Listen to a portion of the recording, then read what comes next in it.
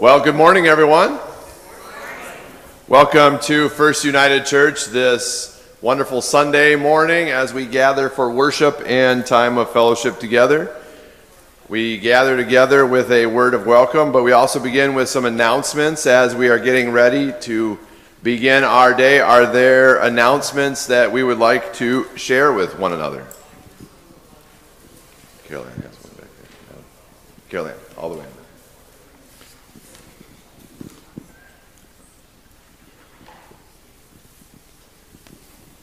This is a reminder to Ad Council. We meet at 7 o'clock on Tuesday. And remember to bring your ingredients for apple cider so we can work as a team to have a delicious drink. Thank you.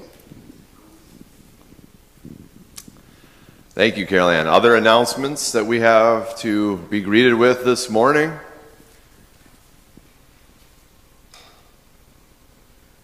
I have a couple, and maybe that'll spur on some and some other people. But next Sunday is our hanging of the greens after the worship service next Sunday. So we will have all the materials down for us to put up our wonderful Christmas greens for the Christmas season and our other decorations. So please, right after the service, help out with that, those who can. Many, excuse me, many hands makes light work, and so the more the merrier. And then I know right after that, that if Shelley Lindenfelser were here, she would want to announce that we are going to be having a meeting about our planned upcoming mission trip in 2025. And so if you are planning on being a part of that mission or going on that mission trip to plan on attending that meeting as well. That's all next Sunday after the service. And of course, next Sunday is our Thanksgiving Reign of Christ Sunday, and that's going to signal to us that the following week we will begin Advent. So it's here, folks. We are steaming our way towards it, full bore. Other announcements that I may be spurred in somebody? Puzzle Palooza on Wednesday. Thank you, Prescott. Yes. Wednesday night, starting at 6 p.m in the fellowship hall. We're going to have Puzzle Palooza, and so it's an intergenerational opportunity for kids and adults of any age and size and shape to come and put together sizes and shapes. And so we will have a fun puzzle night and some uh, some celebration around that. And it's a potluck, so please bring a dish to share, and we will have a fun time communing together and building puzzles and other things. Other announcements for us to share in today before we get started with our worship. I just want to announce that on the round oak table, just past Carol Ann, Carol Ann, you want to wave so everyone knows where we're talking about? Do your best Vanna White impersonation, Carol Ann. There we go. By the oak table back there is the sign up sheets for being greeters or doing fellowship. And so if you want to be involved in that, please sign up. And if you've never done it before in your life, if you've never plugged in a coffee maker before in your life or know how to do that, we have people who've done it many times. And so we can get you set up with somebody who really knows the routine and can help you do that. Or if you've never greeted somebody, I first off feel sorry for you, but if you've never greeted anybody, then we have people that can teach you how to say hello and greet somebody as well. Um, but we have wonderful opportunities to volunteer in this church. And again, this church exists through our volunteerism. My last announcement to make this morning is I'm going to announce this again is that on the credenza in the back there are these blue prayer cards that say prayer request at the top. And you can date it and you can write your prayer request on here and you can ask for it to be either included in Sunday prayers or confidential so that only I see it or that you want me to contact you, you can have this in that basket back there. And you can place it in there, and I will check the basket every Sunday before the service to see if there are any for that Sunday. And so if you put one in there, then I, i am telling you, I will check the basket, it will be seen. But another reason I want to mention this is that we have insert in your program. And in your program, we list people that we want to pray for in there we every month or so, it's been a little bit longer because I didn't want to do it without making an announcement about it, but every month or so, we will take the names off that list and we will continue to pray for them if you request that we continue to pray for them. But in order that so our list doesn't grow to be the whole insert, we need to pare it down from time to time. Not that we don't want to be praying for our loved ones. So, this is a great way to say, please keep my loved one's name on the Sunday prayer list. Another great way to do that. Other announcements, perhaps? All right, then I'll just finish announcements by saying thank you, thank you to Madeline for running the microphone around. Thanks, Kathy, for being here, playing the tickling the ivories today. For Diana Song leading us this morning for Prescott and Amanda back in the booth, and for all of the many volunteers that you've met this morning. Our gathering hymn today is Just a Little Talk with Jesus. It's from the Worship and Song hymnal, which is the small green hymnal in or around your seat, number 3107, and the words will be on the screen. But this is new for us, and it's kind of a jumpy one a little bit. So uh, so Kathy's going to play through it once for us so we can get the rhythm, and then we'll join in. But this is our welcoming hymn, Just a Little Talk with Jesus.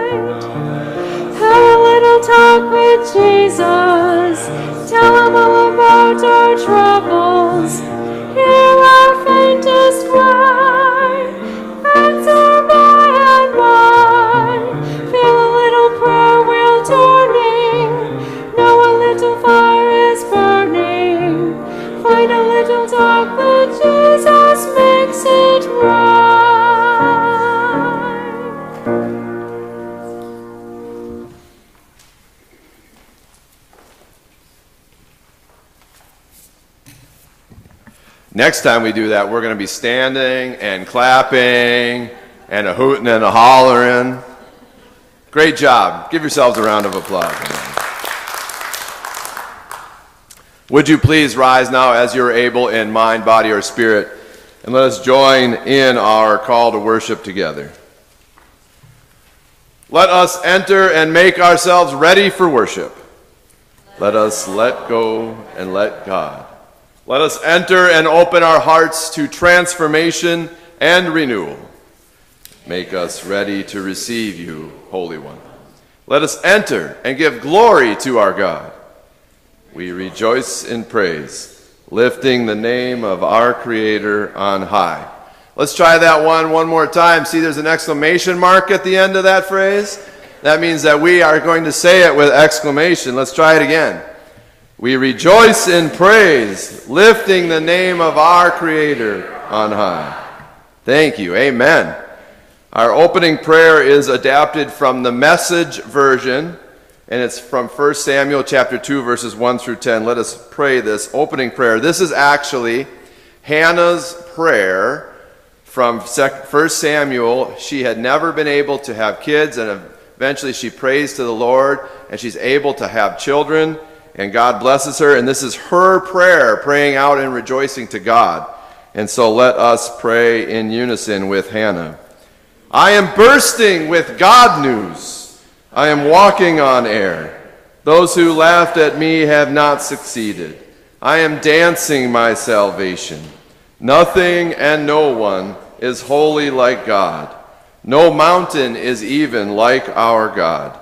We dare not talk pretentiously not a word of boasting ever, for God knows what is what. God takes the measure of everything that happens. The strong are smashed to pieces, while the weak are infused with fresh strength.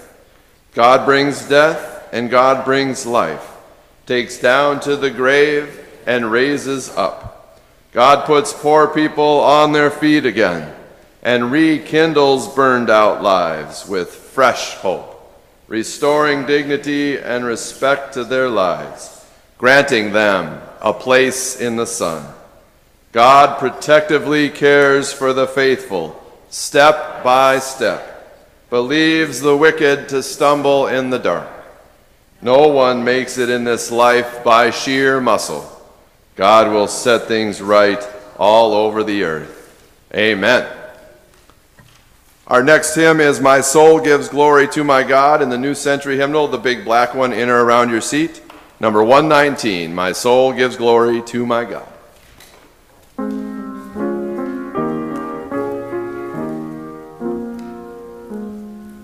My soul gives glory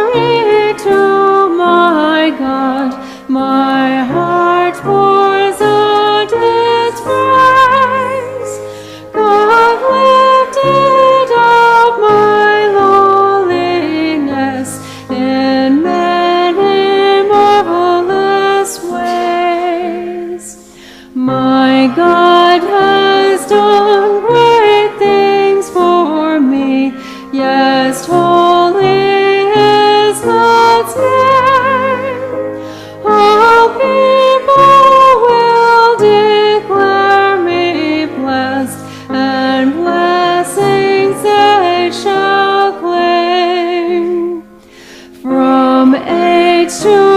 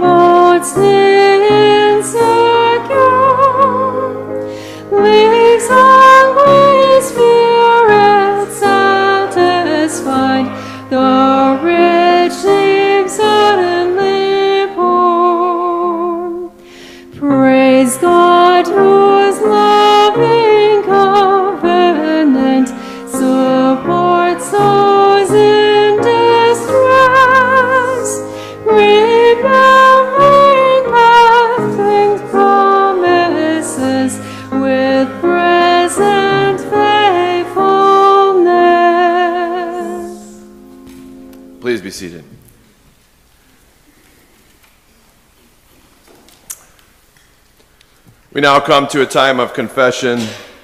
Confession is important in our faith journey as we confess our individual sins and our communal sins, the things we know we have done and the things that we do not know we have done. So let us pray this prayer of confession together.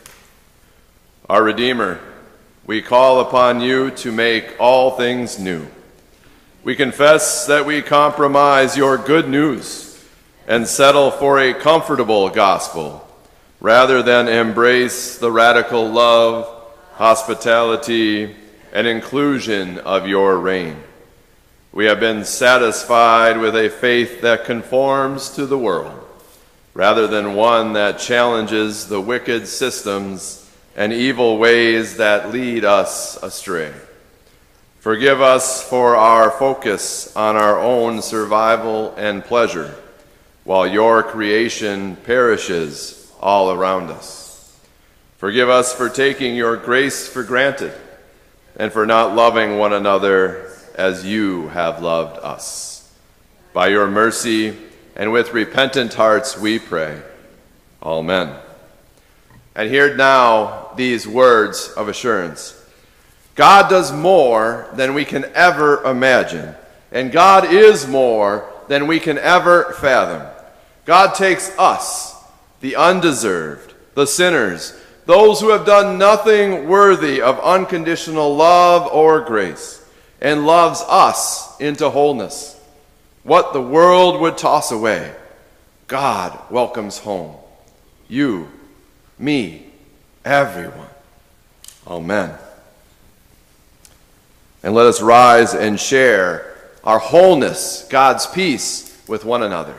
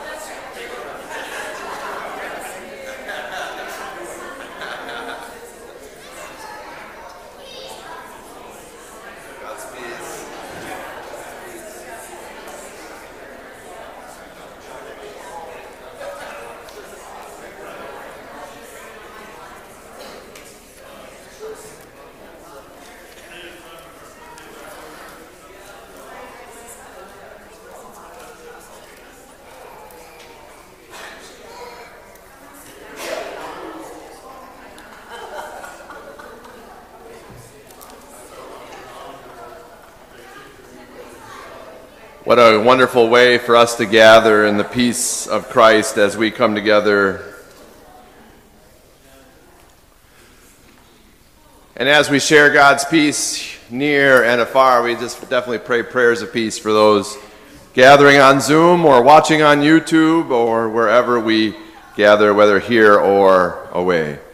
As we continue in our worship this morning, we'll have Holy Scripture read for us by Adam this morning. Thank you, Adam.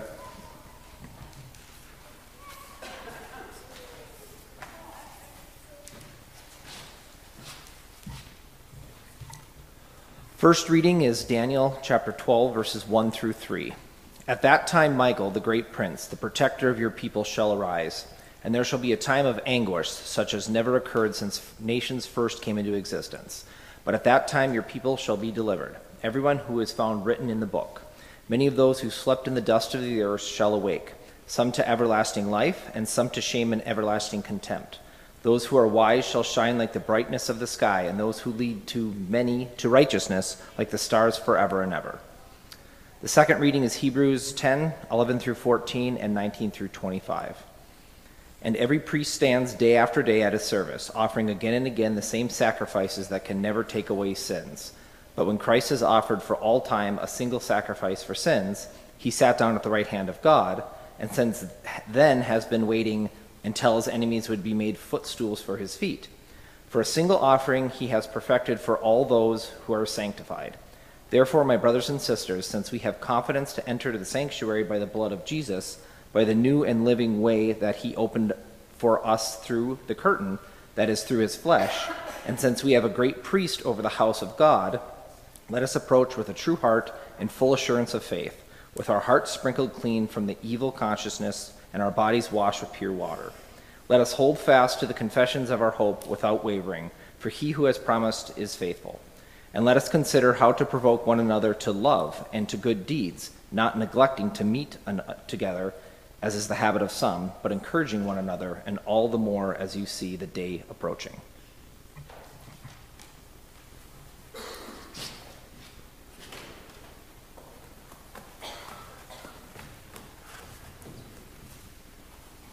There something going on?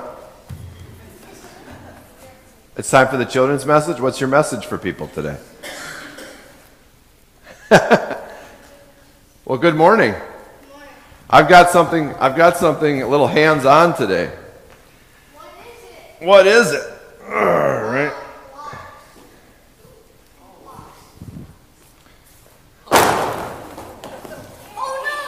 How's that look? That's the message. Everyone, hot round of applause for our children. No, no. All right, here's what I want us to do I want us to build something, whatever you want to build, but everyone gets to take a block or two and, and let's just build something. But let's build it together. It's got to be together, whatever it is, okay? What's that? And don't take too long. We're just going to build it up here. All right. We're building, it looks like a fence or a wall of some sort. All right, now stand up and stand behind it so everyone can see what you built. What did you build? A wall. A wall, you think? Yeah. Uh huh. A wall, okay. Now, what if someone came along? Do you think this wall is going to stand up? To someone walking through it? No. Let's try it. No, yeah, they don't think that stood up. All right, let's try building something different than a wall. All right, get in. Let's build something different than a wall now.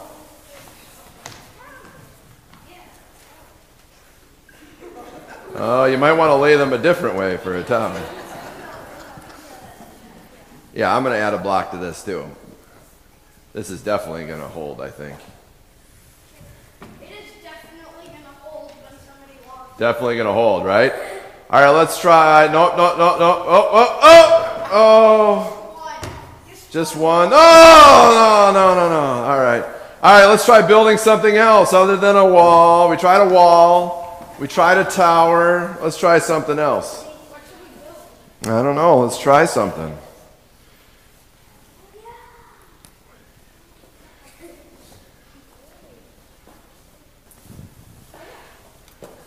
Oh, okay. Okay, now we're building a bridge. All right. I, I wouldn't recommend walking on it. I don't think these are those kind of bricks.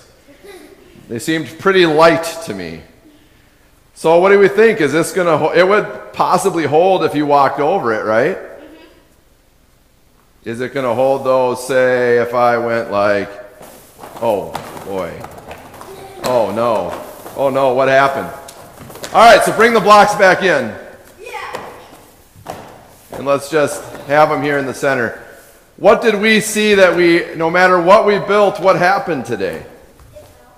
It could be broken, right? It could be destroyed. It could fall. Even if we built a very simple structure of just a brick on the ground, that could be moved out of the way, right? Well, what I did is I wanted to show this to you as a physical demonstration of is that sometimes we put a lot of faith in our lives in the things that we can build or create, and yet even the things that we can build or create, do they last forever? No. No. They don't last forever. And I'm wearing two watches. How about us? Do you think we will last forever? No, eventually our bodies, even though they're such a great creation by God, right? Such a great creation by God, right? Great creation by God, right here. even they will perish, right? But you know what? There is something inside of us that's eternal. What's that? Our soul. Yeah. And where is our soul connected? Our hearts. And who made our soul and gave us life? God. So there is this internal spark within us that no matter what we build or what comes in our world, or no matter if we, as we like to say, live or die, grow or don't, no matter how many years we have or how many years we don't, we have this eternal spark, this great light within us. And can that be destroyed? That can't be destroyed? What if I took a wrecking ball to it? Can't be destroyed? What if I was no longer on this earth? Can't be destroyed? So God's love in our hearts can never be destroyed. Amen? Amen? Let us say a prayer together here. Blessed God, thank you for our children. God, we love our structures in our world, but we know that they are temporary. Thank you for the eternal, the God spark within us, the love in our hearts, God, which cannot be destroyed. May we celebrate that. May we share that. May we grow that love. In your Son's holy name we pray. Amen. How about a round of applause for our kiddos now? Thanks, kiddos. I guess they leave me to do the cleanup, huh?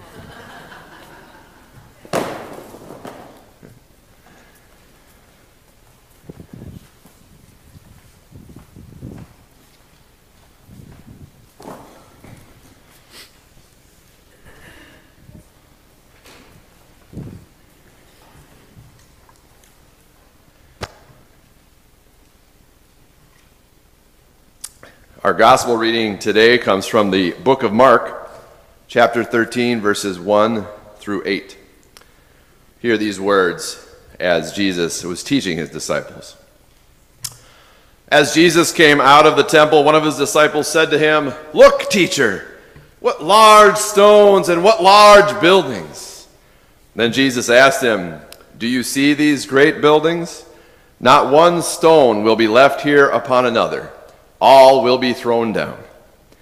When he was sitting on the Mount of Olives opposite the temple, Peter, James, John, and Andrew asked him privately, Tell us, when will this be?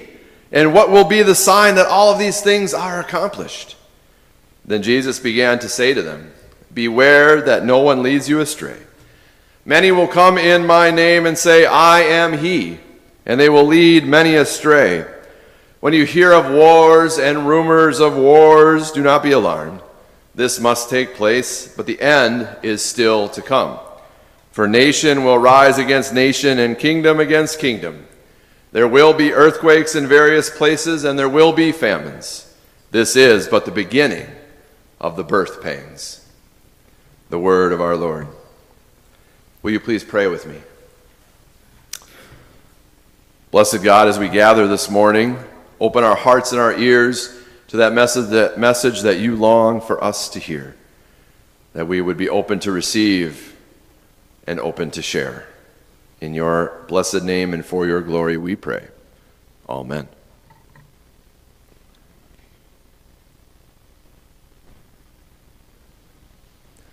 Provoked to love. We're going to talk about being provoked to love in just a second, but I want to do a practice that's always dangerous for a pastor to do, but I'd like us to close our eyes. And when you close your eyes, what I'd like you to imagine is the greatest spectacle you've ever seen that was made by humanity. Maybe it's the Colosseum, maybe it's the Sears Tower, or maybe it's New York City, maybe it's something very simple. But imagine the greatest thing that you've ever seen that was made by human hands.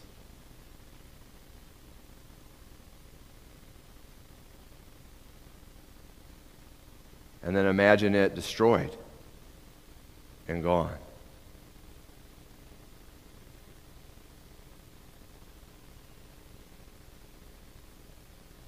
Okay, we can open our eyes. I went through this little practice because this Gospel of Mark that we just heard, Mark is what's called an apocalyptic Jew.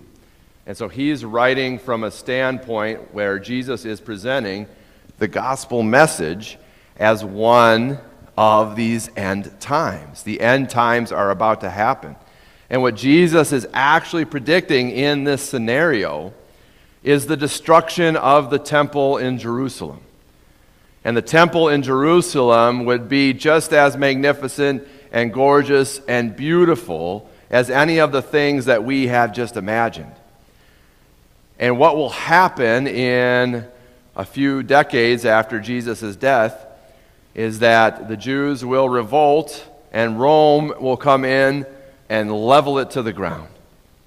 Everything every last stone, till it's what we see today or what's left today if you've ever visited modern Israel.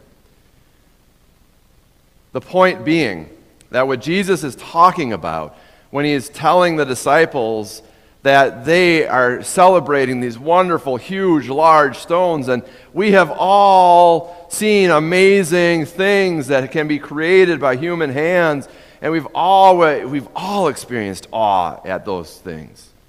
But what Jesus is telling the disciples is that we have gone astray in terms of where our focus is. Our focus should not be on, wow, look at these large stones. Our focus should not be on our holy worship and how good we can be holy. Our focus should not be on how do we separate ourselves to make sure that we remain clean and pure and whole as a people. Jesus' whole ministry and mission was to talk to the Jews and say, We need to change. We need to be more open and more loving and more forgiving and more grace filled and not just stuck in our temple, but going out to the sides, to the limited, the people that need our help, out to the margins and the marginalized. And the disciples, when they're in Jerusalem, which is where they are now, in the story where we find Mark, are just amazed at all of the things around them, and Jesus is trying to bring their focus back to what is important, and that's God's love.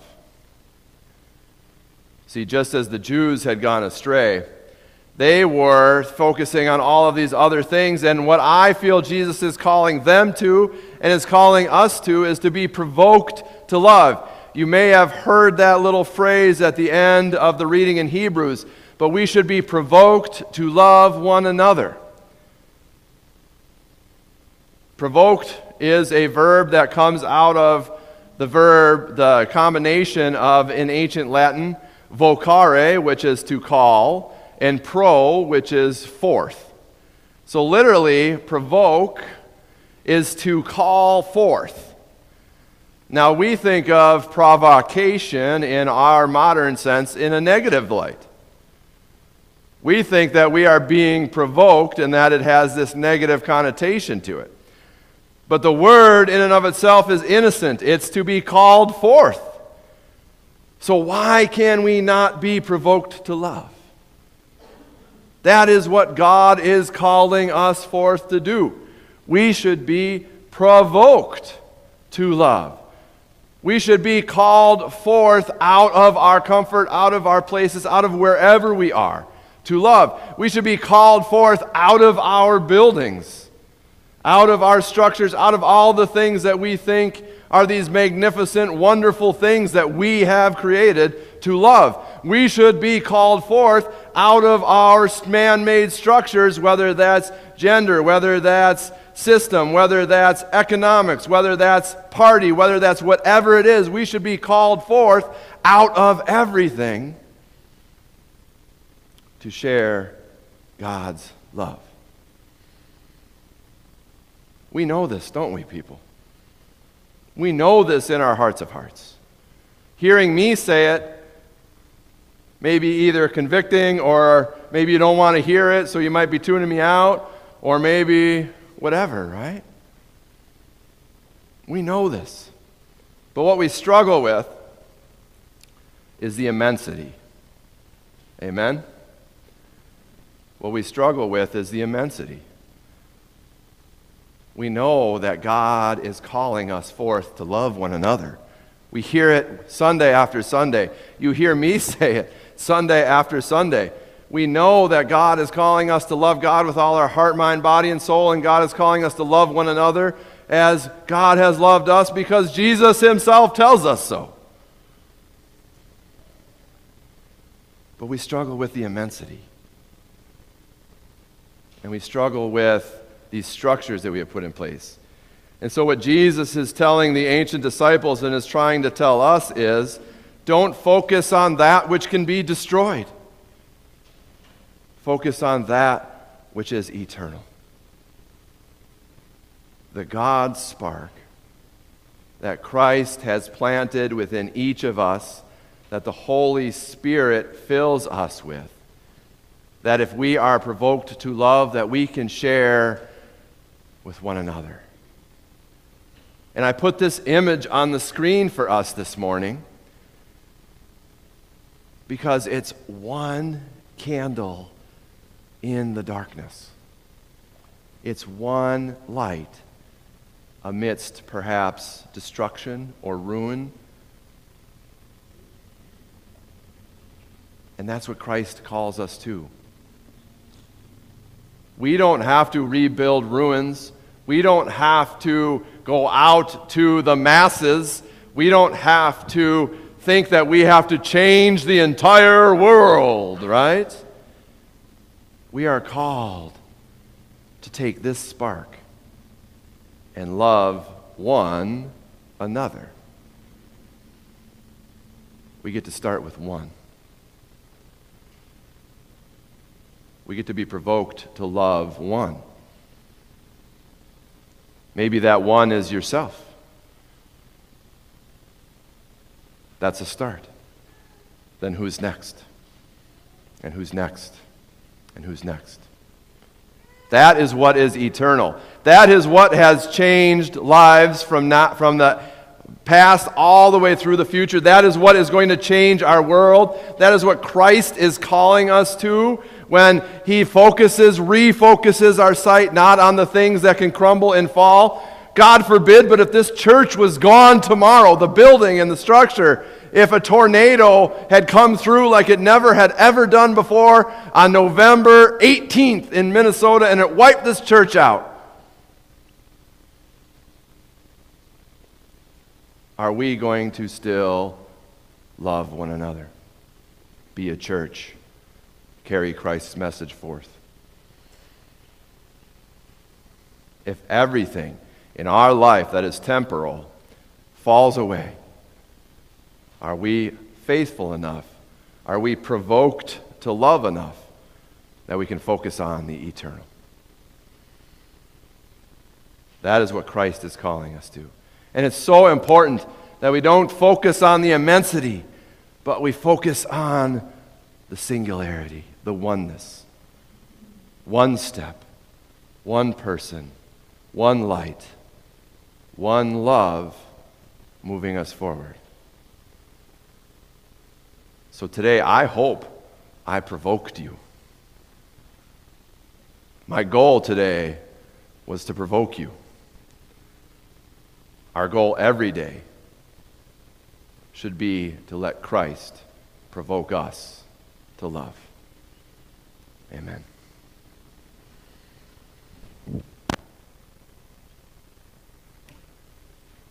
Our next hymn is I Am Thine, O Lord. And what a hymn of faith this is to say, Indeed, I am yours, God. It's in the Methodist hymnal number 419, and words will be on the screen. I am thine, O Lord.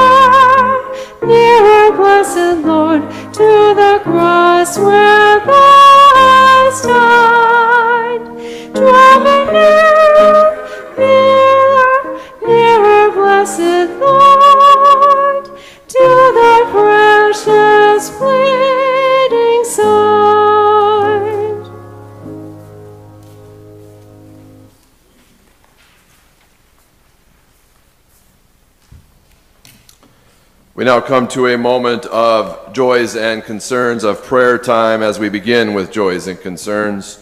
Are there prayers to lift up in our congregation today?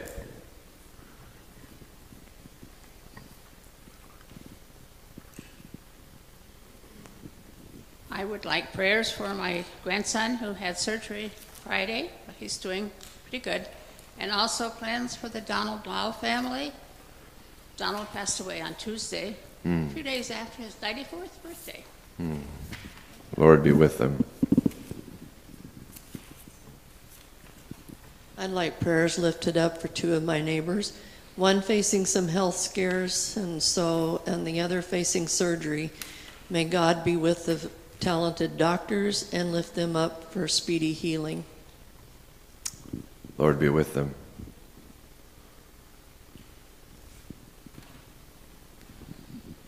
I asked for prayers for my friend David, who has um, recently found out that there's a health scare that he's dealing with. So prayers for David, please. Lord be with him. Other prayers for us, joys or concerns.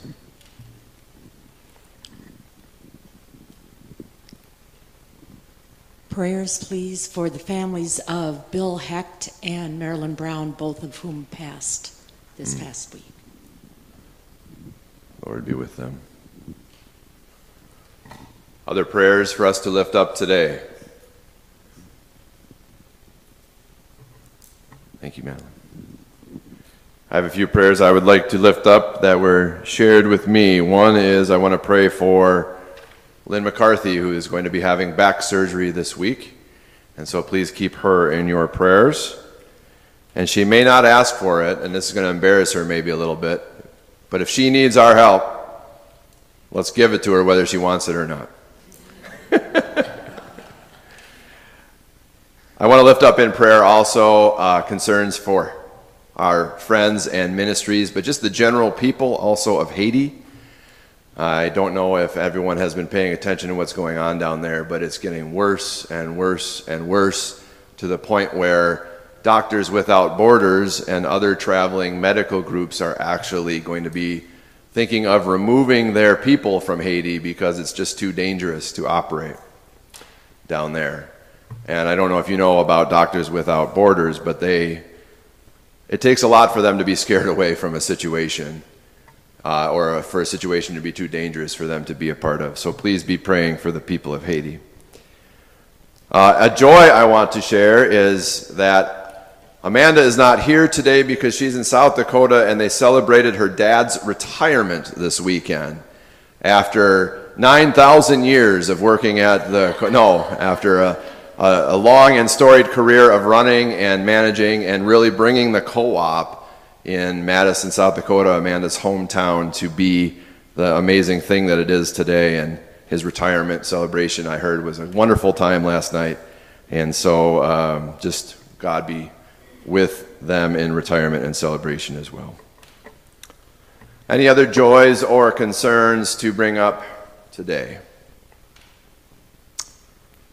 Let us take a moment to pray.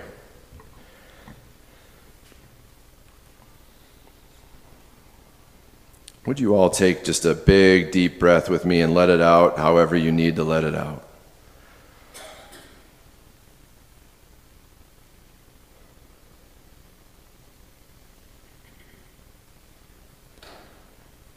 Lord, we need you.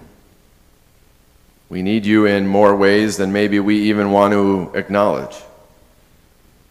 We need you to be our light and our spark, the eternal part of ourselves, God, that works for your glory and love in this world, even though it knows that our eternal is guaranteed. Our light and our strength and our courage to take that love that you have implanted within us, that you have provoked us with, and to share it with the world. To meet the world which maybe would like to provoke us in other ways hate or fear or jealousy or greed. A world which wants us to focus on the, the brilliant beauty of money or capitalism. A world which wants us to focus on what we can grab and have and keep and hold. When we know in our hearts of hearts, God, that none of that is eternal. Only you are. Our soul, our heart, the Spirit that you have implanted within us, that you provoke us with, that you convict us with, that you love us with. It's in that spirit, God, that we lift up our prayers and the joys and concerns shared today, whether it's health or anxiety of upcoming events, whether it's praying for those who have lost for those who have lost loved ones or those who are perhaps about to lose loved ones. Whether it's the joy at service well done. Maybe we don't even know, God, what to pray for. And so hear us now in silence as we spend a moment with you, asking you to be with us.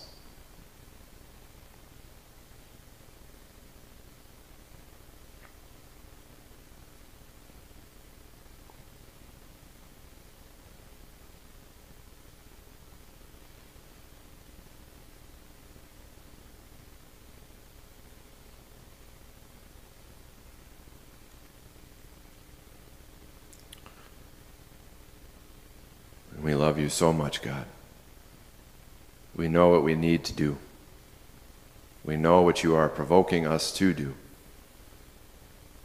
Would you be so bold as to speak into our lives and give us the strength and courage, the faith and the trust and the love to do it? And hear us now, God, as we lift all of our prayers, as we join in our Lord's Prayer song together.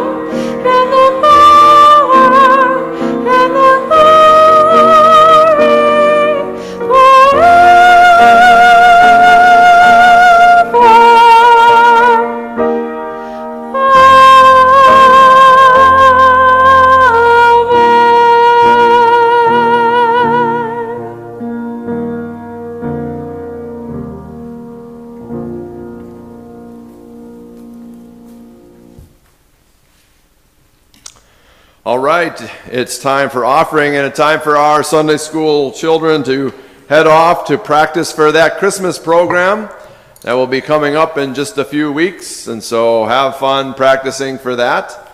We can't wait to see it when it happens and it comes to fruition. The rest of us come to a time of holy offering, which is a time for us to give back out of the graces and places and spaces that God has blessed us. Our offering is monetary indeed. We have plates out on the sides and in the back. If you brought offering, your church thanks you. It does need your support. But our offering is also not just about treasure, but the time and the talents that God employs us to do as well. And so, what if we think that we are provoked to love should be our impact on this world?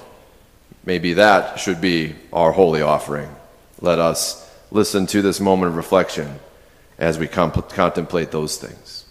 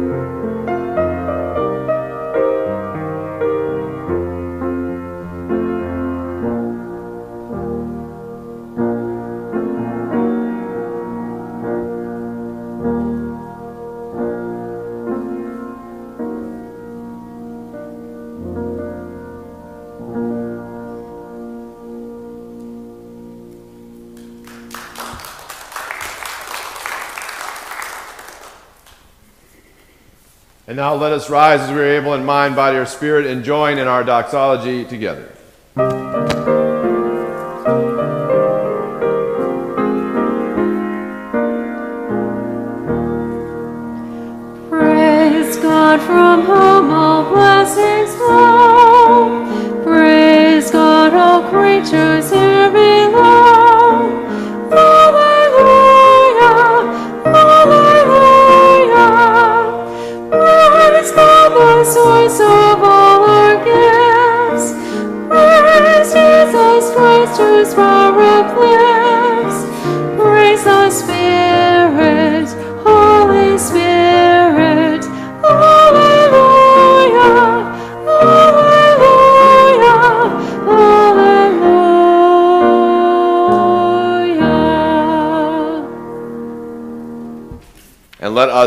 Join in our prayer of dedication together. God of hope and love, may these gifts and offerings make a difference in this church, in the life of the community we love, in the places we serve, and the people we meet. May these gifts and offerings extend beyond the stones we know and the things we can create to be a balm to a world in need of comfort and a light to a world that has too much darkness. May it begin with you, inspire action in us, and flourish by Christ's name. Amen. Our parting hymn today is Lord, whose love through humble service. It's in the Methodist hymnal, the big blue one in or around your seat, number 581. Lord, whose love through humble service.